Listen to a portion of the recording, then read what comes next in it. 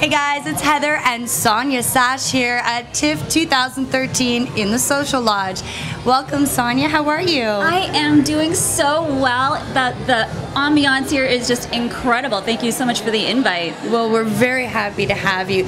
Tell us, what is it that you do here? Because it's my understanding you wear many hats. You're I host and producer. Tell Yes. us about that. Well, I'm a host and producer on Daytime, which is the flagship show on Rogers TV. So I cover everything from fashion to films to cooking demos. Can you imagine me Oh, wow. in the kitchen cooking? Oh, cooking.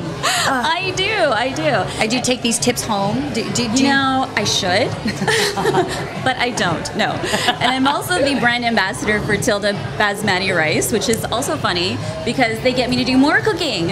Oh I my think, goodness. I think there's a thing where people, the universe, maybe wants me to do some cooking. I don't know. I think so. There's a hidden talent somewhere, and, and you just have to hone it. Right? You just you have to own that. I think I do.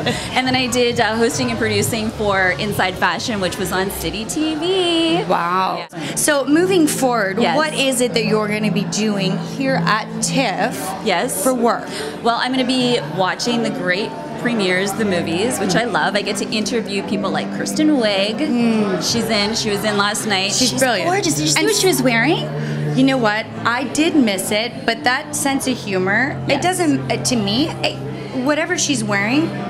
It's it, it's times ten because of that sense of humor. You don't get Yeah. a humor like that and a fashion that just it goes beyond. You Yeah. know, it's an aura. She could wear a paper bag. She could, Right? She looked so cute when she arrived in Toronto, though. She had these really cute shorts and like a plaid black Mm-hmm. shirt, and yeah, she just looked totally adorable, which I love. So I And can't wait. is she funny in person? She so is.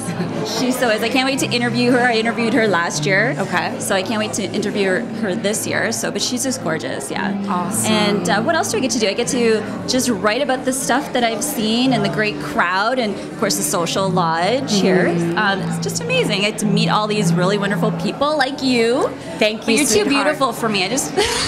you know she can go on with this but i have to say i i, I it's one of these things where women empowered you know with some Definitely. confidence i think any woman that has a great shoes and some confidence feels beautiful and and looks beautiful at that Definitely known for my shoes, if anything else. Not a girl.